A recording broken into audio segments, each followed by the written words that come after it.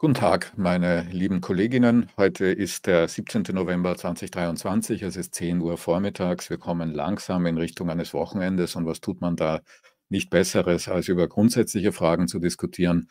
Genau das darf ich jetzt tun, äh, gemeinsam mit Herrn Professor Dr. Felix Hanschmann. Für diejenigen, die hier fernsehen, denen werde ich auch noch die Webseite zeigen, ähm, auf der man ihn sehen kann. Das ist seine Professur und sein Lehrstuhl an der Bucerius Law School. Er ist Lehrstuhlinhaber des Dieter Hubertus Pavlik Stiftungslehrstuhls Kritik des Rechts, Grundlagen und Praxis des demokratischen Rechtsstaats an der Bucerius Law School. Der Grund, warum er hier ist, ist vor allem äh, dieser hier. Er hat äh, ein Interview gegeben anlässlich der Tagung der jungen Wissenschaft im öffentlichen Recht dieses Interview äh, kann man im Netz auch lesen. Es ist überschrieben mit zehn Fragen an Professor Dr. Felix Hanschmann zu Habitus und Fremdheitsgefühlen in der Rechtswissenschaft. Und dieses Interview hat viele Leute sehr interessiert, äh, unter anderem auch mich. Ich bin aber bei weitem nicht der Einzige, der auf dieses Interview reagiert hat. Ich darf auch darauf verweisen und werde es unten in den Show Notes hineintun, dass es auch schon einen Podcast äh, zu diesem Interview mit einem Kollegen gibt, den viele hier auch kennen.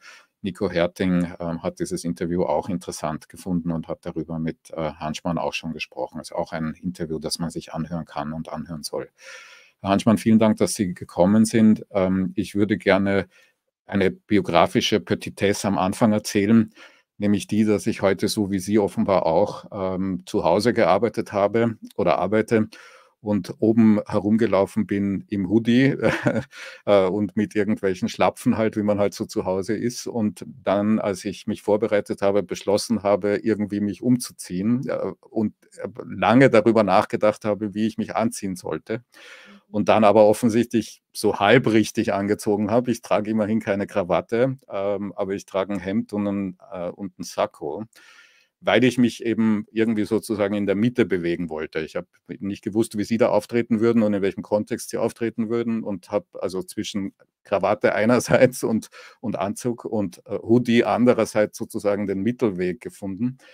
Und über genau das schreiben Sie ja auch in diesem oder reden Sie ja in dem Artikel auch, nämlich wie man äh, mit solchen ganz kleinen Dingen ähm, Botschaften aussendet und dass man als Jurist und als Juristin, so also ich in dem Kontext jetzt gerade regelmäßig versucht, irgendwie die Person möglichst nicht zu zeigen, nicht, sondern sich hinter irgendwelchen äh, Etiketten, Fassaden, Objektivitätsbehauptungen ähm, ähm, zu verstecken. Und jetzt, wo wir einander da so gegenüberstehen, erinnert mich das natürlich sofort an das Scheitern dieses Versuchs, weil man, auch wenn ich das jetzt nicht thematisiert hätte, natürlich sehen würde, wie wir uns da gerade ähm, gegenüberstehen und natürlich niemals Objektivität ähm, produzierbar ist ähm, oder Neutralität und Objektivität produzierbar ist, indem man sich irgendwie in die Mitte stellt und sagt, ich versuche jetzt die Identität dahinter zu verbergen. Warum tun das Juristinnen ununterbrochen? Ich glaube, weil zum einen die Reproduktionsbedingungen in der Rechtswissenschaft so sind, wie sie sind. Also wir die Frage stellen müssen, aus welchen Milieus kommen denn diejenigen Leute, die sich für Jura entscheiden, die aber auch in dem Beruf bleiben. Ähm, und zum anderen weil man natürlich auch dann, also nach der biografisch-familiären Sozialisation, in der ein bestimmter Habitus ausgeprägt wird, zu dem sicherlich auch Kleidung gehört, als symbolische Kommunikation, aber auch als Distinktionsmerkmal, ähm, akademisch sozialisiert werden. Und die akademische Sozialisation ist meiner Ansicht nach auch abhängig von dem jeweiligen Studienfach und später dann natürlich auch von der Berufsgruppe, ähm, in der man sich bewegt. Und da zeichnen sich eben JuristInnen ähm, durch eine spezifische Sozialisation, akademische Sozialisation aus, die sozusagen nochmal auf die familiäre biografische Sozialisation äh, draufkommt. Und wenn wir bei dem Thema Kleidung bleiben, dann ähm, gibt es ja immer nur so halb witzige oder äh, halb nicht ernst gemeinte äh, Beschreibungen von Juristinnen, wie die sich im Studium, aber dann später auch im Beruf kleiden. Und später im Beruf ähm, ist doch relativ dominant, wenn man jetzt mal auf Männer schaut. Also zumindest ein klassischer Anzug und ein klassisches Herrenoberhemd. Ähm, die Krawatte scheint mir so ein bisschen im Niedergang zu sein, aber mhm. wenn man auf bestimmte Fachtagungen geht, jedenfalls im öffentlichen Recht, auch da muss man vielleicht nochmal intern differenzieren. Ähm, die StrafrechtlerInnen sind auf Tagungen da vielleicht etwas lockerer, das weiß ich nicht.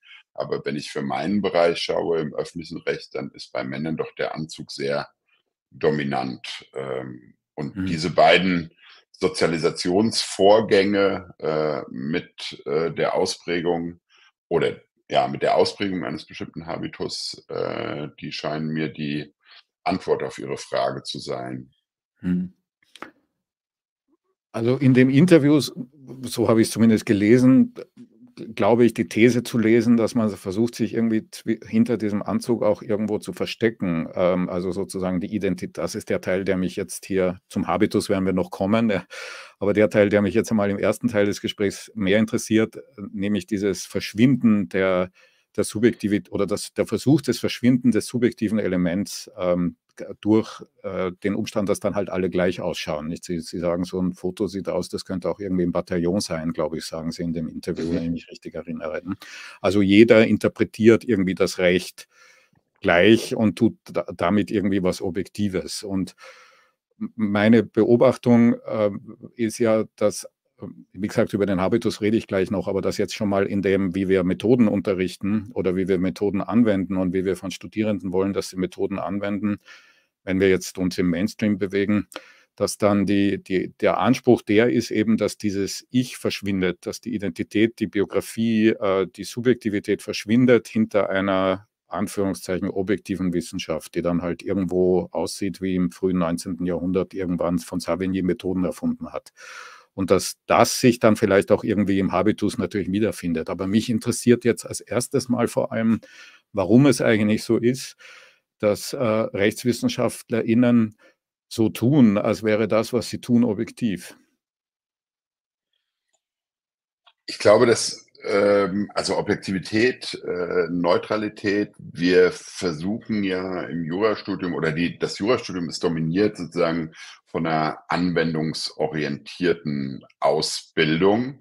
Sie haben selbst schon gesagt, wir haben da so bestimmte, ich würde sagen, naive methodische Vorstellungen, die sind vielleicht nicht mehr ganz ähm, an der Vorstellung eines Subsumptionsautomaten, ähm, aber doch methodisch immer noch relativ äh, naiv, ähm, dass es da sozusagen so eine, so eine Figur gibt, äh, die sich den Gesetzestext anschaut äh, und sozusagen ohne eigene Einflüsse unter Zurückstellung der eigenen Persönlichkeit, eigener Meinungen, politischer Positionen das Recht äh, objektiv neutral anwendet äh, wir alle kennen vielleicht sinnbildlich sozusagen das Bild der, der Robe äh, des Richters oder der Richterin, aber auch Staatsanwältinnen, hinter der das Subjekt äh, verschwindet. Und ich würde Ihnen da vollkommen recht geben, dass der Anzug bei Männern eine Art Uniform ist. Die, der Anzug ist zugeknöpft, gerade wenn man sozusagen noch eine Krawatte hat. Ähm, er ist relativ einheitlich ähm, und das führt dazu in der Tat, das würde ich genauso sehen, dass man sozusagen in diesem Anzug als Subjekt eben mit seiner eigenen Persönlichkeit, äh, mit seinen eigenen Meinungen, mit seinen eigenen Positionen verschwindet und dann eben nur ein Dienstleister äh, des Rechts ist, der den Gesetzestext auf den äh, Fall, der ihm vorgelegt wird, objektiv und neutral anwendet. Wir mhm. blenden in diesem Vorgang der Rechtsanwendung oder neigen dazu, in diesem Vorgang der Rechtsanwendung, sowohl in der Selbstwahrnehmung, ähm, aber auch von der methodischen Vorstellung her oder von der sprachwissenschaftlichen Vorstellung her, gesellschaftliche Bedingungen, beispielsweise von Wissensgenerierung, äh, von Rechtsanwendungsprozessen, von Gerichtsverfahren, die blenden wir aus ähm, und das tun wir eben dann auch über eben Kleidungsstücke äh, wie die Robe, aber eben auch über äh, Kleidungsstücke wie ein Anzug. Mhm. Ich glaube andererseits auch, dass das sozusagen ein Bild ist von Juristinnen, die nicht nur innerhalb der Juristerei äh, dominant ist, ähm, sondern auch außerhalb dieser Berufsgruppe.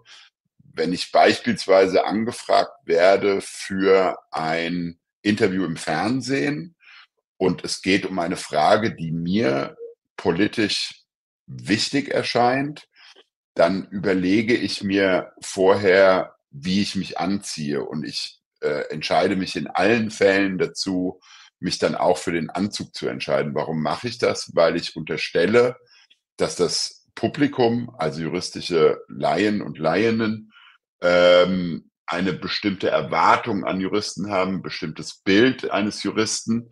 Und natürlich, wenn dieses Bild erfüllt wird, der Inhalt dessen, was ich dann sage, anders, seriöser, autoritativer wahrgenommen wird, als das der Fall ist, wie wenn ich da sitzen würde und hätte den von Ihnen erwähnten Hoodie an. Mhm.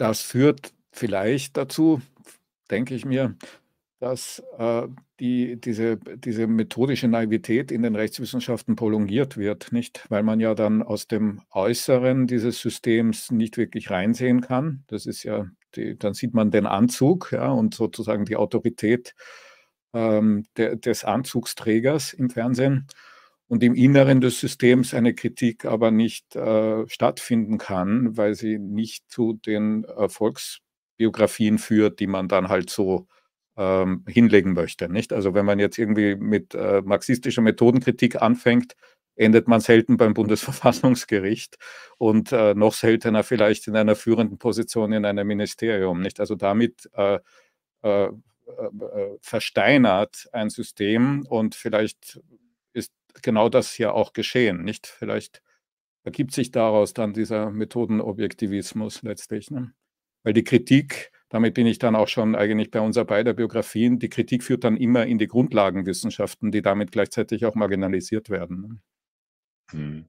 Oder? Ja, und es ist, es ist ja nicht so, dass es äh, jedenfalls in Deutschland, für Österreich weiß ich das nicht, aber dass es nicht in Deutschland Versuche gegeben hätte, dieses Verhältnis zwischen äh, Dogmatik, anwendungsorientierter Ausbildung, die natürlich ihre Berechtigung hat und die wichtig ist, äh, in einer anderen Weise und stärker zu verzahnen mit Grundlagenfragen, also das Recht stärker gesellschaftlich zu kontextualisieren, äh, das auch vorsätzlich bewusst reflektiert in die Strukturen und die Inhalte der juristischen Ausbildung einfließen zu lassen.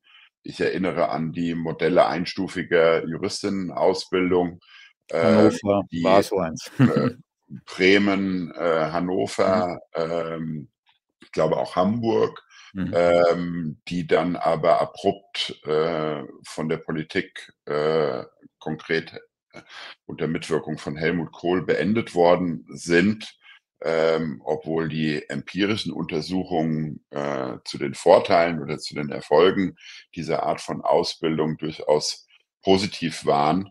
Ähm, diese Diskussionen dauern an, ohne dass es da sozusagen bislang äh, seit der Beendigung der einstufigen Juristenausbildung große Fortschritte gegeben hat. Mir scheint im Moment wieder so eine Phase zu sein, äh, wo dieser fehlende oder nur sehr schwache Grundlagenbezug innerhalb der juristischen Ausbildung ähm, wieder an Fahrt aufgenommen hat. Ähm, da gibt es sicherlich verschiedene Gründe oder Ursachen dafür, aber konstatieren muss man wohl ähm, pessimistisch, dass sich da seit der einstufigen Juristenausbildung äh, relativ wenig geta getan hat, was die Integration oder die stärkere Integration von Grundlagenfragen äh, in die juristische Ausbildung angeht, getan hat.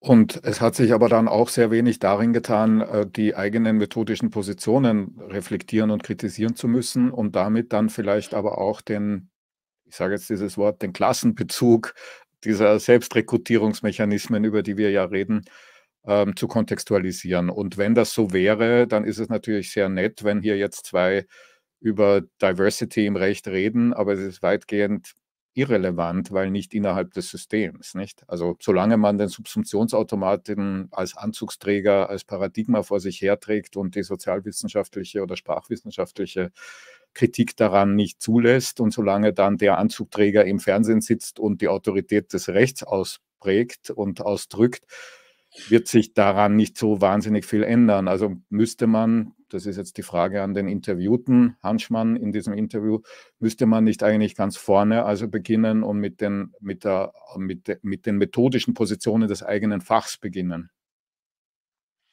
Ja, ich würde sagen, nicht nur mit den methodischen Positionen des eigenen Faches, äh, sondern äh, auch mit der rechtsgebietsspezifischen Ausbildung. Vielleicht ein mhm. Beispiel.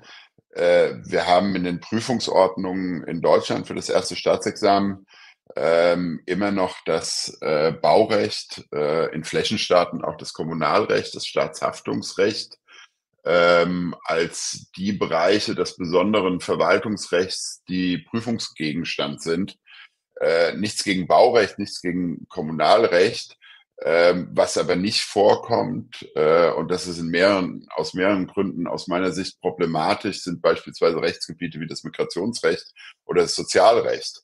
Ähm, mhm. Das verwundert schon deshalb, weil die meisten derjenigen, die Sie und ich ausbilden an der juristischen Fakultät, äh, später äh, statistisch weniger als Anwältinnen im Baurecht arbeiten, schon gar nicht im Staatshaftungsrecht, sondern dass die größere Zahl äh, der Ausgebildeten mit Migrationsrecht konfrontiert sein wird oder arbeitet in dem Bereich oder im Sozialrecht.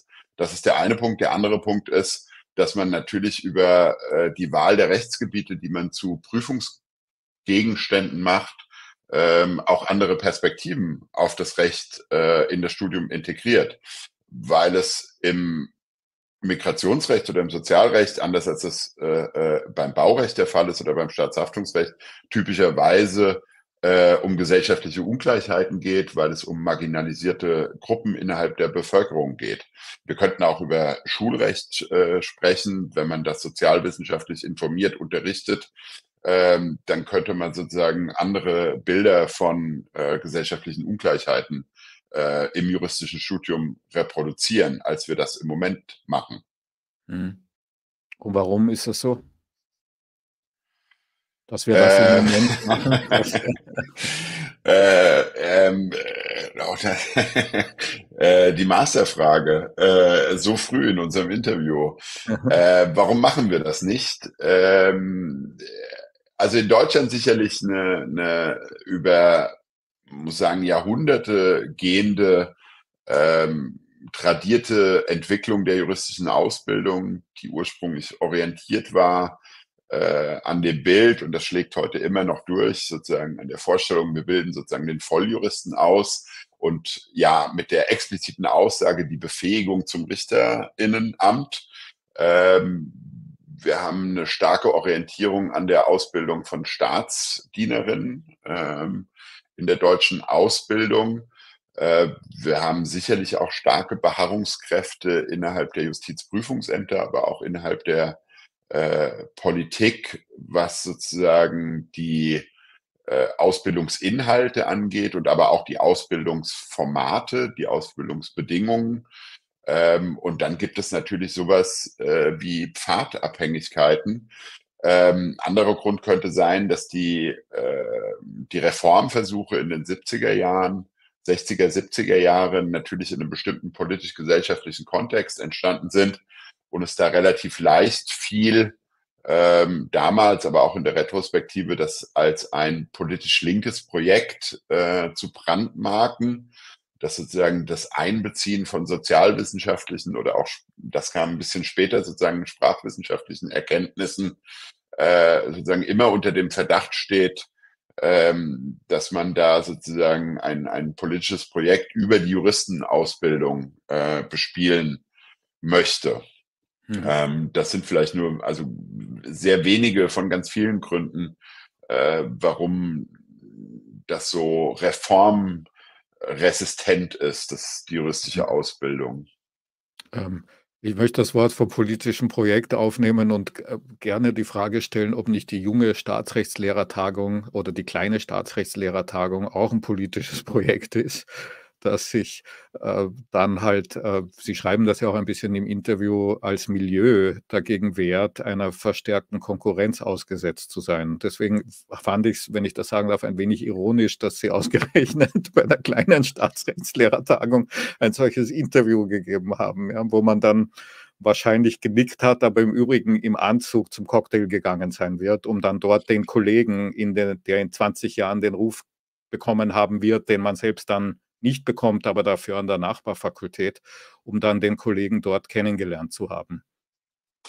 Ja, das ist sicherlich eine wichtige Funktion solcher ähm, Veranstaltungen, ähm, solcher Nachwuchsgruppentreffen, ähm, diese habituelle Strukturen verfestigen sich in Netzwerken, in sozialen Beziehungen, sie verfestigen sich auf eben solchen Fachtagungen, aber auch in Betreuungs- oder Angestelltenverhältnissen.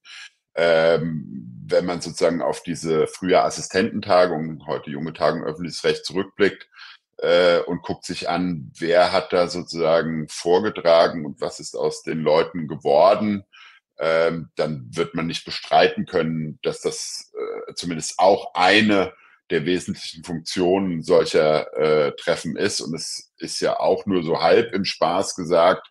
Äh, ich glaube, Sie haben das eben während die kleine Staatsrechtslehrer-Tagung. Mhm. Äh, ich muss aber andererseits sagen, und das fand ich eines der beeindruckendsten Erfahrungen, die ich äh, da nach der Rede, die ich gehalten habe, gemacht habe, ähm, wie viele äh, die dort waren, dann doch ein Interesse hatten an dem, über was ich dort gesprochen habe, wie viele von denen dann auch kamen und sozusagen aus dieser Individualisierung herausgetreten sind, äh, also sozusagen bisher als äh, sozusagen individuelle Erfahrung zugeschriebene, nehmen wir eine gewisse Unsicherheit im akademischen Milieu, äh, hinsichtlich Auftreten, fehlendes äh, äh, Zutrauen, ob man das kann, ob man das schafft, äh, ob man eine Doktorarbeit schreiben kann, ob man sich dort zu Hause sieht, ob man sich da wohlfühlt,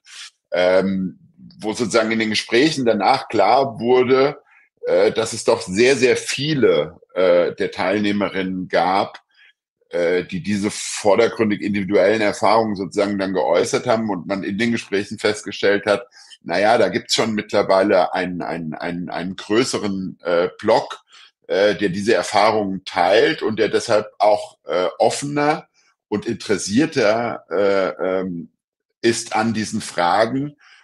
Und wenn ich sozusagen im Moment die, also meinen Bereich öffentliches Recht, aber auch Grundlagen des Rechts beobachte, ähm, dann stelle ich doch fest, dass es äh, im Hinblick auf so eine Offenheit für sozialwissenschaftliche Erkenntnisse in der Rechtswissenschaft, für Veränderungen innerhalb der Gesellschaft, für Diskriminierungserfahrungen, ähm, für äh, die Aufnahme, was macht das Recht eigentlich mit gesellschaftlich marginalisierten Gruppen, ähm, eine Offenheit gegenüber äh, relativ neuen theoretischen, rechtstheoretischen Angeboten, ähm, dass die relativ groß ist. Ähm, und das fand ich dann doch äh, beeindruckend. Ich mhm. meine, es ist keine Frage, wir haben sozusagen in der, in der deutschen Rechtswissenschaft, und das wird in Österreich nicht anders sein, ähm, jedenfalls im wissenschaftlichen Betrieb gemessen an fast jedem Diversitätskriterium, ähm, ob das Geschlecht ist, ob das äh, Behinderung ist, ob das Migrationshintergrund ist, ähm, ob das sozioökonomisches Milieu ist, familiäre Strukturen, haben wir massive Probleme. Und je höher wir gehen, äh, innerhalb unseres Systems, was die Positionen angeht, äh, desto größer wird das Problem. Man kann, man kann das wunderbar äh, zeigen an den äh, empirischen Zahlen äh, zur Benachteiligung von Frauen ähm, im akademischen Milieu, was die Rechtswissenschaft angeht. Ich glaube, wir haben im Moment bundesweit äh, 55 Prozent äh, Studentinnen, die das Jurastudium beginnen und auch beenden mit erstem und zweitem Staatsexamen. Äh, und wir haben einen Professorinnenanteil von 17 Prozent circa. Ich glaube, wenn man die Junior-Professorinnen reinrechnet, sind es 17. Wenn man sie rausrechnet, ist es noch ein bisschen schlechter. Und wenn wir auf andere äh, Diversitätskriterien gucken, wie eben Herkunft, Migrationshintergrund, sozioökonomisches Milieu, wo kommen die Leute her, die später äh, promovieren oder die sogar habilitieren und Professorinnen werden, äh, da sieht es wesentlich düsterer aus. Mhm. Eben das, äh, ich würde auch sagen, dass das vielleicht ein Unterschied ist zwischen der jungen StaatsrechtlehrerInnen-Tagung, wo man dann noch ähm, vielleicht ein bisschen unsicherer ist, und den alten StaatsrechtlehrerInnen, wo man dann diese Unsicherheit beiseite legen kann, weil man ohnehin schon unter sich ist, nicht? Ähm, und, ähm, Ja, und, und dabei dann vielleicht vergisst, ähm, dass man schon bei den jungen StaatsrechtlehrerInnen die entsprechenden Netzwerke gelegt hat, nicht? Denn es ist schon eine Eigenschaft, die ich jetzt nach einiger Erfahrung mit dem deutschen System als Nicht-Deutscher mit Ihnen teilen möchte, schon eine Eigenschaft des deutschen Systems, dass es außerordentlich homogen ist. Nicht? Also ich war in Hannover 17 Jahre lang und war 17 Jahre lang der einzige Nicht-Deutsche ähm, an einer Fakultät. Ja. Äh, ich weiß nicht, wie viele Nicht-Deutsche oder Nicht-Deutschsprachige an der Bucerius so in, in volle Professuren gekommen sind. Und das gilt wahrscheinlich für alle anderen oder jedenfalls die meisten der Hochschulen, die ich irgendwie gesehen habe, auch. Ja. Sind weiße, muttersprachlich deutsche, sozial privilegierte Männer, die am Ende äh, in diesem System äh, in die Ordinariate kommen. Und das beginnt, würde ich behaupten, äh, bei den jungen Rech Staatsrechtslehrerinnen-Tagungen, so offen man da dann auch noch für irgendwelche Kriterien äh, aus den Nachbarwissenschaften sein mag und so sehr man an einem Imposter-Syndrom leiden mag ähm, und man verschwindet dann entweder oder man entledigt sich dieser Bedenken, ja, würde ich behaupten. Ja. Ja, also da würde ich zwei Sachen zu anmerken. Eine mhm. ganz persönlich biografische, wenn Sie sagen, das verschwindet dann sozusagen auf, bei den StaatsrechtslehrerInnen oder auf der Staatsrechtslehrertagung. Äh, für mich kann ich sagen, dass ich bis heute, und ich bin jetzt 50 Jahre alt, äh, auf einer solchen Veranstaltung, das nimmt ab, klar. Das ist, glaube ich, auch der Position geschuldet. Das ist einer höheren Selbstsicherheit geschuldet, die man sozusagen über die Jahre äh, äh, dann doch äh, erworben hat. Aber ich fühle mich heute noch äh, häufig unsicher, unwohl. Äh, ich überlege mir heute noch, ob ich mich richtig verhalten habe, äh, ob ich vielleicht zu witzig war, ob ich was Unpassendes gesagt habe. Also es ist immer noch so, dass ich da hingehe und mich nicht so, so sicher und so wohl fühle, äh, wie wenn ich sozusagen mich in dem Milieu bewege, aus dem ich komme. Ähm, also ganz verschwindet das nicht. Ich glaube, solche Sozialisationen und das Milieu macht es einem, das würde ich auch sagen, nicht einfach. Ähm, ähm, das ist sozusagen wenn ich dazwischen fahren darf. Ja. Das stimmt natürlich, das wollte ich auch so nicht sagen, aber Sie sind sozusagen die Ausnahme von der Regel, nicht? Die, die, Sie sind dann das zugelassene, ja, ja, irgendwie exotische Element. Äh. Der Rest bewegt sich in seinem klein- oder großbürgerlichen Milieu, wo man halt weiß, welchen Wein man nimmt, wie Sie beschreiben, oder wo man, wo man vorgestern in der Oper war und darüber leicht parlieren kann, weil alle anderen, Absolut. mit Ausnahme Hanschmann, äh, und vielleicht noch naja, ein paar anderen, nur, aber, aber äh, und noch ein paar anderen, ja, also einer Marginalie, ähm, einem, einem Sahnehäubchen, ja, äh, eben rausgefallen sind oder sich so verändert haben, dass sie sich irgendwie daran gewöhnt haben. Also das Letztere bezieht ja. auf die methodischen Positionen. Ja? Also man ist ja. sehr gerne in der Jugend interessiert an Sprachwissenschaften, ist interessiert mit 50 im Ordinariat dann mitunter weniger. Ja, äh, man müsste so, glaube ich, da sozusagen bei der Staatsrechtslehrervereinigung auch die Frauen fragen, also oder mhm. deren äh, Entwicklung, deren Erfahrungen sozusagen dort anzukommen äh, äh, oder deren Gefühle. Ähm, das stimmt. Ne? Äh, ähm, das Zweite, was ich sagen wollte, Sie haben gesagt, äh, also ich will gar nicht sozusagen Ihre österreichische Herkunft irgendwie sozusagen angehen oder negieren.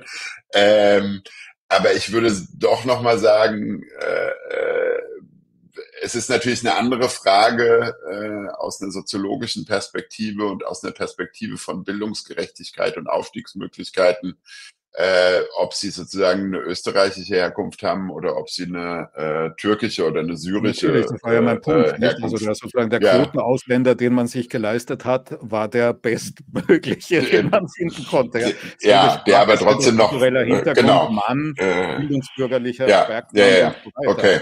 Also das ist der Punkt. Ja.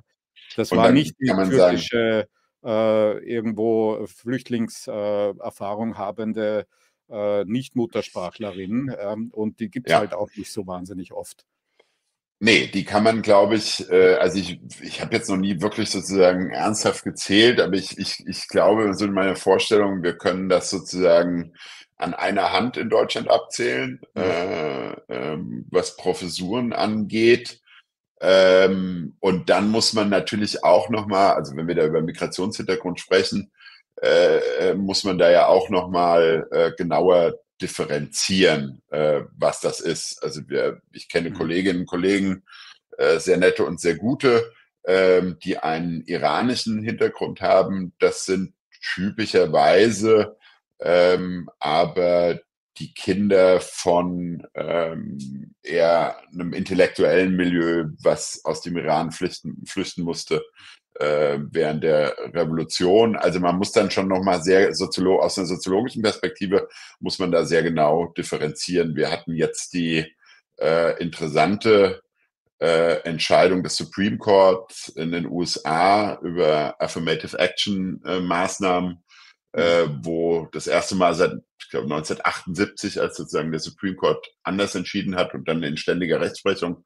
Jetzt hat man das, ich würde nicht sagen aufgehoben, aber äh, zumindest die, die, die Tür aufgemacht äh, für Veränderungen, indem man sagt, die Hautfarbe alleine ist sozusagen äh, kein zulässiges Kriterium äh, mehr.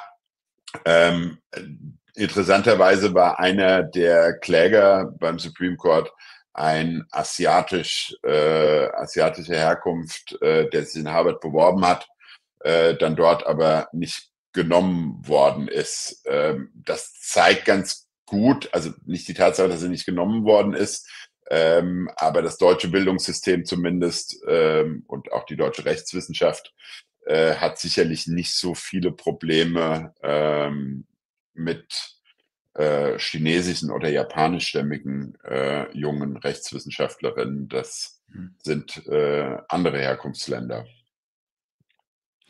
Ja, und ähm, man kann das Thema natürlich jetzt ähm, nicht über, über die Migrationsthematik hinaus noch in andere äh, Minority-Richtungen ähm, auch noch spielen. Also man, äh, ich, Herr Herting zum Beispiel hat auf LinkedIn unter anderem darauf hingewiesen, dass die sexuelle Identität auch ziemlich äh, mainstreamig organisiert ist ähm, und auch da offenbar ähm, ja, geschriebene oder ungeschriebene, meistens ungeschriebene Normen gelten, die sich erfolgreich reproduzieren. Und man könnte noch ein paar andere Gesichtspunkte, wo man sich halt als Angehöriger oder Angehöriger einer Minderheit fühlen kann, sicher auch noch hier ins, ins Treffen führen.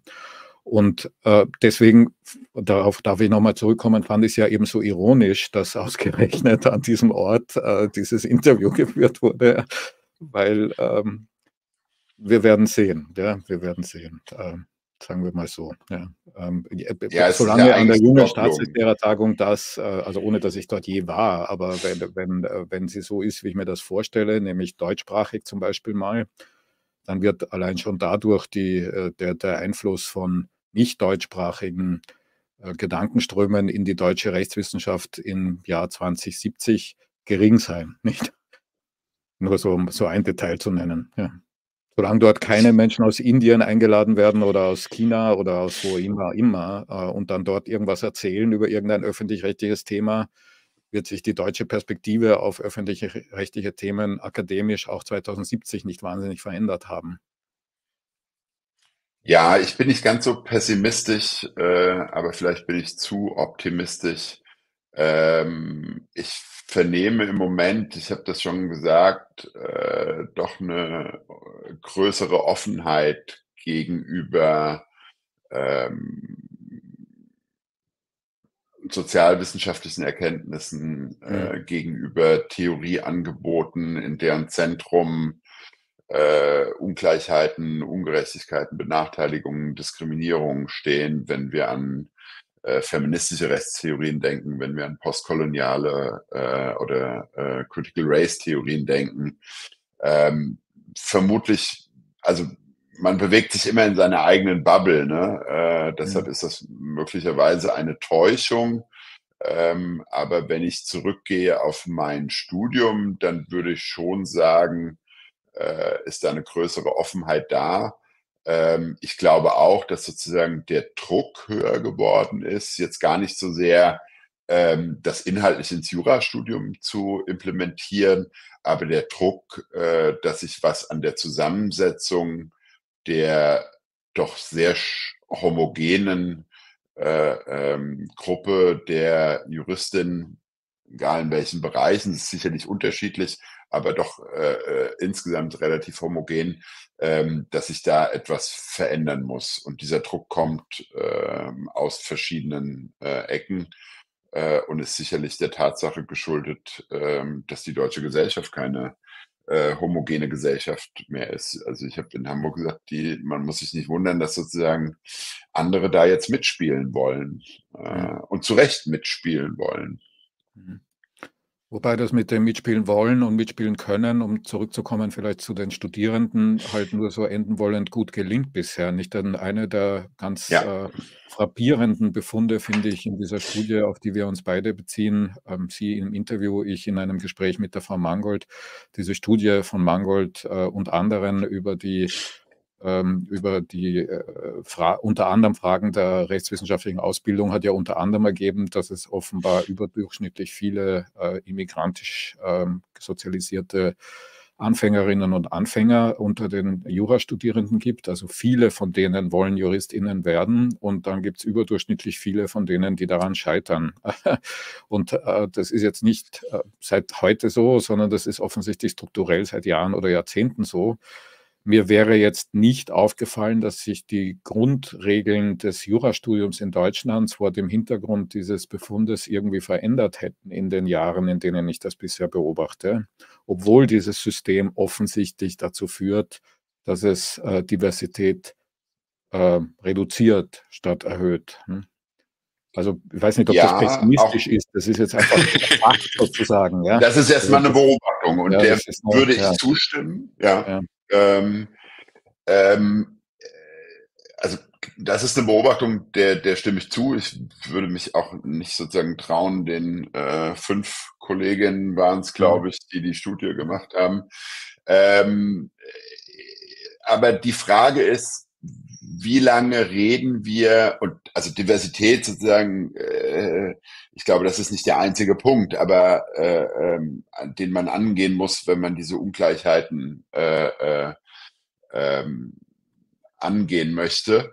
Aber wie lange reden wir sozusagen im wissenschaftlichen System äh, über Diversität? Das ist ja eine relativ neue Entwicklung. Äh, Forschung dazu ist relativ jung. Ähm, das sieht man an der mhm. Studie, aber auch in anderen äh, wissenschaftlichen Disziplinen. Das ist äh, sowohl politisch, äh, wissenschaftspolitisch, ähm, aber auch wissenschaftlich in der Forschung ähm, ein relativ neues, äh, äh, neues Thema. Ähm, und man kann schon beobachten im Moment, ich spreche jetzt für meine Hochschule, aber ich beobachte sozusagen auch andere Einrichtungen innerhalb des Wissenschaftssystems, ähm, dass man da anfängt, ein vorsätzlich anfängt, ein äh, überlegtes, reflektiertes Diversitätsmanagement in wissenschaftlichen Einrichtungen vorzunehmen, äh, mit einer Vielzahl an äh, Instrumenten, mit einer breiten Palette an Möglichkeiten, die beispielsweise Hochschulen haben, äh, um da etwas zu verändern. Ähm, was zumindest der erste Schritt ist, äh, und da sind wir, glaube ich, mittendrin, ähm, ist eine Ursachenforschung sozialer Ungleichheit zu Exklusionsmechanismen in unseren Institutionen, zu Diskriminierungen im Wissenschaftssystem. Was ich auch sagen würde, was schon stattfindet, ist dadurch sozusagen eine Reflexion, ein Problembewusstsein, eine bewusste Auseinandersetzung, dass es da überhaupt ein Problem gibt und wie man darauf reagieren kann. Also Selbsterkenntnis, Aufklärungsprozesse. Und daran anschließend sozusagen in der Phase befinden wir uns, glaube ich, gerade äh, die Entwicklung von Instrumenten, anspruchsvollen Instrumenten, mit denen man Veränderungen herbeiführen kann. Interessanterweise, diese Supreme Court-Entscheidung, äh, von der ich gesprochen habe, die ist nicht so negativ aufgenommen worden, jedenfalls nicht in den USA, äh, wie man das vermuten könnte, weil viele, und die würde ich jetzt eher im linksliberalen Milieu verorten, BeobachterInnen, äh, gesagt haben, das kann eine Chance sein, weil es dazu animiert, stärker auf die sozioökonomischen Herkunftsbedingungen zu schauen hm. und anspruchsvollere Modelle ähm, der Diversitätssteigerung an US-amerikanischen Universitäten zu entwickeln. Und hm. dem würde ich beipflichten. Und auch bei uns sind wir, glaube ich, in, genau in der Phase, dass wir uns überlegen, äh, sozusagen nach der Sensibilisierung, nach dem Problembewusstsein, was können wir innerhalb unserer Einrichtung oder im Wissenschaftssystem insgesamt verändern, um eine bessere Diversität zu haben. Mhm. Jetzt kommt in Deutschland wahrscheinlich noch erschwerend hinzu, dass ja die entscheidenden Prüfungen gar nicht von den Fakultäten verantwortet werden, sondern von staatlichen Prüfungsämtern. Und da also noch ein weiterer Player dann im Spiel ist, nicht? Aber ich würde gern das, was Sie vorher in Bezug auf das Baurecht versus das äh, Migrationsrecht aufgeworfen haben, noch einmal in Bezug auf die Prüfung äh, wiederholen. Nicht, wenn man sich die deutschen und so ganz anders ist das ja an vielen anderen äh, Orten dann auch nicht, aber jetzt mal die deutschen Prüfungsgestaltungen ansieht, dann ist das ja sowohl beim ersten wie beim zweiten Staatsexamen im Grunde genommen eine ganz, ganz selektiv äh, vereinzelte Spezialsituation, äh, die man so im juristischen Leben mit hoher Wahrscheinlichkeit nie erfahren wird, nämlich, oder eigentlich, ich kenne gar keinen Beruf, der wirklich so arbeitet, nämlich, dass man einen vereinfachten Fall erzählt bekommt, ja, als wäre er so geschehen, also ein objektiver Beobachter, der erzählt, wie die Welt aussieht und man dann in einer sehr kurzen Zeit ähm, den subsumierend bewältigen muss, diesen einfachen Fall, wo die Prüfer, meistens männlich, meistens weiß und so weiter, dann irgendwie so Rätselrallye-artig irgendwelche äh, Ja-Nein-Entscheidungen äh, eingebaut haben, wo man dann repetitiv angeblich dogmatisches Wissen, das in Wirklichkeit ja eigentlich nur Erzählung von anderer Menschen Dogmatik ist, reproduzieren kann. Und das hat also erstens hat es mit, mit, so gut wie nie mit einem juristischen Beruf zu tun und zweitens führt es dazu, dass man natürlich bestimmte, äh, bestimmte Qualifikationen belohnt, nämlich zum Beispiel die, solche Rätselrallies bearbeiten zu können und bestimmte andere, wie zum Beispiel in einem Team arbeiten zu können oder gut recherchieren zu können oder die sozialen Hintergründe zu verstehen oder einfach nur empathisch zu sein, ja, die man als Jurist oder Juristin auch braucht, in gar keiner Weise ähm, abzuprüfen und dann das gleichzeitig als Sicherung des hohen Qualitätsstandards der deutschen Ausbildung zu verkaufen, was ja natürlich auch nur funktioniert, solange sich dieses System so reproduziert, wie es sich reproduziert. Und ich sehe jetzt nicht ganz, wie Ihre optimistische Sichtweise in diesem Spiel äh, oder wann die zu wirken beginnen soll und wie sie zu wirken beginnen wird.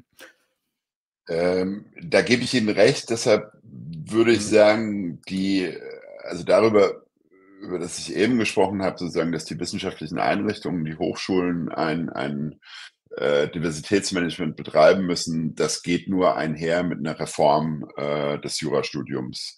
Ähm. Sie haben vollkommen recht. Äh, also ich kenne auch kein anderes Studium, in dem die äh, Studierenden äh, vier oder fünf Jahre Leistungen erbringen, äh, die aber nach diesen vier oder fünf Jahren äh, eigentlich in keiner Weise äh, eine Rolle spielen, äh, weil man innerhalb von zwei Wochen sechs oder acht Klausuren schreiben muss. Ich kenne auch kein anderes Studium und auch das ist wissenschaftlich mittlerweile belegt, in dem die Rate von äh, psychischen und physischen Erkrankungen äh, so hoch ist wie im Jurastudium. Ähm, das ist sicherlich einer der Knackpunkte und wir haben vorhin über die Beharrungskräfte, äh, was diese Studien- und Prüfungsbedingungen angeht, äh, gesprochen. Und ja, da sind sozusagen andere Akteure mit im Spiel. Da können die äh, Hochschulen nur sehr begrenzt, so ein bisschen im Schwerpunktbereich, der jetzt schon wieder sozusagen von einzelnen Bundesländern zurückgeschraubt werden soll. Insofern, als die Note sozusagen nicht mehr im Staatsexamenszeugnis ausgewiesen werden soll aus dem Schwerpunkt, weil man vermutet, dass die tendenziell zu hoch sind. Ähm, dass da sozusagen angesetzt äh, werden muss, dass man alternative Studienbedingungen schaffen muss, dass man die Inhalte verändern muss, dass man die Hierarchie und die Konkurrenz rausnehmen muss, dass man dieses absurde Prüfsystem, aber auch das relativ absurde Notensystem äh, in Deutschland äh, verändern muss, dass man den Fächerkanon verändern muss, ähm, dass man aber auch andere Formate der Ausbildung äh, stärker ins Studium integrieren muss.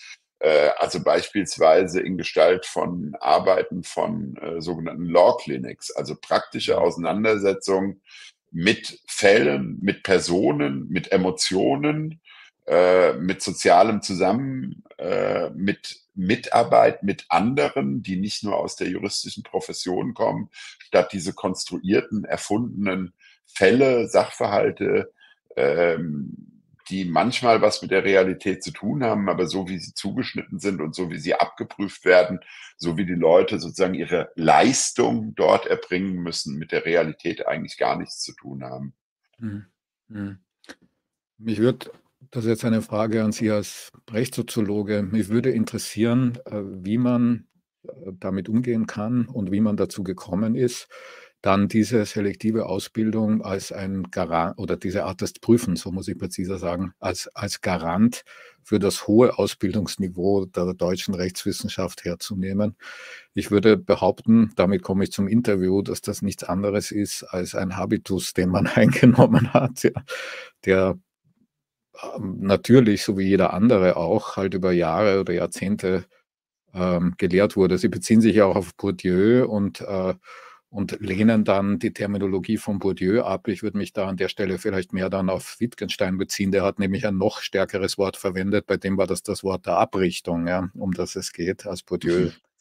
Und ähm, also im Grunde ist ja auch das, diese Abrichtung, in dem ähm, wir, wir, wir muten euch das zu, weil wir nur so das hohe Niveau der deutschen Wissenschaft äh, und der deutschen juristischen Ausbildung oder der österreichischen, ich will da jetzt, das ist jetzt kein Germany-Bashing, das ich da gerade betreibe, also der Rechtswissenschaft garantieren nichts anderes als eine Abrichtung und die Erringung eines Habitus in dem System, das dann, wenn es fertig ist, nicht mehr davon angefeindet wird, dass es soziologisch irgendwie herausgefordert wird. Hm? Also ich, äh, ab, abgelehnt habe ich sozusagen, ich, ich bin äh, ganz fein sozusagen mit ganz mit nahezu allen äh, Begriffen, die Bourdieu geprägt ja. hat, Habitus oder auch das Kapital. Ähm, da, der Begriff, auf den Sie angespielt haben, äh, zu Recht, da ist Wittgenstein noch etwas schärfer, war äh, das sozusagen auf die Frage, wie man sozusagen habituelle äh, Verhaltensweisen, Eigenheiten verändern mhm. kann, äh, äh, Pierre Bourdieu gesagt hat, das ist ein wahrer Akt der Gegendressur, äh, den man da vollbringen muss. Ähm, ein Begriff, der sozusagen wunderbar auf das passt, was sie gerade beschrieben hat, äh, von Bourdieu, äh, wäre eine Illusio in einem bestimmten mhm. Feld. Und ich würde äh, Ihnen dabei pflichten, dass eine der wesentlichen Illusio in unserem Feld ist, dass wir glauben, äh, dass diese Art der Ausbildung und diese Art der Prüfung ein wie immer ja gar nicht sozusagen gemessenes Niveau äh, der Ausbildung von Juristinnen vorgaukelt. Ähm, mhm. ähm, ich würde vielleicht noch ergänzen, und das scheint mir auch ein wichtiger Moment sozusagen bei der Beharrung auf diese Form der Ausbildung und Prüfung zu sein, ähm, das hat für mich immer sowas wie so einen Initiationsritus oder eine Passage. Ähm, und dass diejenigen, die sozusagen da durchgegangen sind, äh, retrospektiv die Haltung entwickeln, äh, das müssten sozusagen die Nachkommenden auch, weil sozusagen allein dieses Durchgehen, das hat ja auch sehr viel mit Härte zu tun, weil es viel mit Druck zu tun hat. Äh, mit viel Aufopferung, mit viel Ausblenden von anderen Interessen, die man hat, weil es eine hohe zeitliche und auch sonstige Fokussierung auf diese Prüfung äh, äh, erfordert, dass das so ein, ein, ein Stahlbad ist, dass, äh, dass dann sozusagen auch die Nachkömmlinge äh, absolvieren müssen oder wo sie durchgehen müssen. Mhm. Ähm, das sozusagen als Ausweis einer ja nie auch international mal in den Vergleich gestellten Qualität deutscher Juristinnenausbildung zu stellen, ähm, halte ich nicht nur wissenschaftlich für nachgerade absurd. Ja, da kann man sicher noch was machen dran. Herr Hanschmann, ich würde gern langsam in Richtung Ende kommend eine Frage noch stellen, die natürlich offensichtlich ist. Wir reden ständig über das Interview. Auch mit Herting haben Sie über das Interview geredet. Wir reden nicht über den Vortrag, den Sie eigentlich gehalten haben. Wird er erscheinen? Wo wird er erscheinen? Und äh, wird er so erscheinen, wie Sie ihn gehalten haben? Ähm, das ist eine, eine gute Frage, äh, die ganz viel sozusagen, äh, das ist so ein bisschen die Frage, wie wenn man äh, äh, Doktoranden fragt, oh, sorry, wie ist es denn mit der DIS? Nein, aber es, es, hängt zu, es hängt bei mir nicht mehr so viel von der Veröffentlichung dieses Vortrags ab, vielleicht wie bei den Doktorandinnen von der DIS und der Druck ist mhm. sicherlich deutlich geringer. Ähm, ja, ich, ich habe das vor. Äh, ähm, äh, Sie wissen äh, auch, wie das ist. Man hat irgendwie tausend Sachen, Lehrveranstaltungen. Ja. Aber äh, mich würde interessieren, ob Sie ihn so veröffentlicht werden. Das interessiert mich viel mehr. Ob Sie ihn so veröffentlichen ja. werden, wie Sie ihn gehalten okay. haben, oder ob Sie ihn im Hinblick auf das, was Sie vermutlich nicht erwartet haben, nämlich, dass das so Wellen schlägt, dass sogar, also, also das ist viel mehr, was da geschehen ist, vielleicht aufgrund des Interviews, als so üblich ist, wenn man irgendwo einen Vortrag hält. Ja? Also ob Sie aufgrund dessen da den, den Grund sehen, den Anlass sehen, das anders zu veröffentlichen? Äh, genau, das ist die Frage, die ich mir seit mhm. diesem Vortrag, äh, äh, seit dem Tag dieses Vortrags äh, stelle. Ähm, äh, ich habe sozusagen diesen Rohtext gehabt und dachte zuerst, ach, ich bin Mitherausgeber der kritischen Justiz und wir haben immer so eine Rubrik Klosse äh, dass man das einfach so eins zu eins dort äh, äh, abdruckt. Dann kamen in den Gesprächen danach äh, äh, noch ganz viel dazu, die Reaktionen, die darauf äh, äh, dann kamen. Und dann bin ich langsam so hingegangen, eigentlich müsste man das grundsätzlicher machen. Und wenn man es grundsätzlicher macht, dann habe ich sozusagen wieder angefangen, mehr zu lesen äh, über Diversität, über Bourdieu, über Habitus und dachte, naja, vielleicht doch eher einen wissenschaftlichen Aufsatz. Und ehrlich gesagt, äh, in dieser mhm. äh, Schwebe hängt das äh, immer noch. Vielleicht geht auch beides. Gut, also ich würde Ihnen gerne als Feedback mitgeben, als jemand, der nicht Mitglied der jungen StaatsrechtslehrerInnen ist und, äh, und also nur das Interview kennt. Ich würde den Text sehr, sehr gerne lesen. Und okay. ich bin vermutlich ah. nicht alleine äh, in dem. Also es gibt ein Publikum, äh, das darauf interessiert äh, warten würde. Ja. ja. Dann nehme ich das mal als Ansporn für, die nächst, für das nächste Heft der kritischen Justiz als Klosse. Wobei das mit der kritischen Justiz jetzt auch noch ein eigenes Thema wäre, weil die Geschichte dieser ja, Zeit ja, ja, eigentlich zurückführt an den Anfang dieses, dieses Gesprächs. Ja, das stimmt wohl, ja. Also, äh, ganz zurückführt es auf Fritz Bauer. Und das ja. ist auch eine Person, die vielleicht mehr Beachtung in der Ausbildung äh, deutscher, aber auch österreichischer Juristinnen finden sollte. Das ist wohl wahr. Also damit kann man ja jetzt ja. zu machen hier. Lesen Sie Bauer und, äh, und lesen Sie, wenn Sie es nicht schon getan haben, unbedingt dieses Interview. Ich zeige es hier noch einmal. Äh, das hier ist das, was man also bisher von diesem Vorgang bei der jungen Wissenschaft im öffentlichen Recht kennt. Ähm, das ist auch publiziert und ich habe darauf verlinkt. Ähm, das wäre ja ein guter erster Einstieg. Vielen, vielen herzlichen Dank Ihnen, äh, lieber Herr Hanschmann, dafür, dass Sie sich Zeit genommen haben. Ich hoffe, wir bleiben im Gespräch. Ich, ich habe nicht den Eindruck, dass wir fertig geworden sind mit all dem, was uns hoffentlich beide interessiert und nicht nur mich. Äh, würde mich freuen darüber. Und Ihnen, die Sie zugehört haben, danke ich ganz herzlich dafür, dass Sie das getan haben. Ich hoffe, wir bleiben in Verbindung. Ich hoffe, Sie bleiben interessiert und vor allen Dingen hoffe ich, dass wir alle so lange wie möglich, so gesund wie möglich bleiben oder es so schnell wie möglich wieder werden. Alles Liebe und Gute und bis bald. Auf Wiederhören.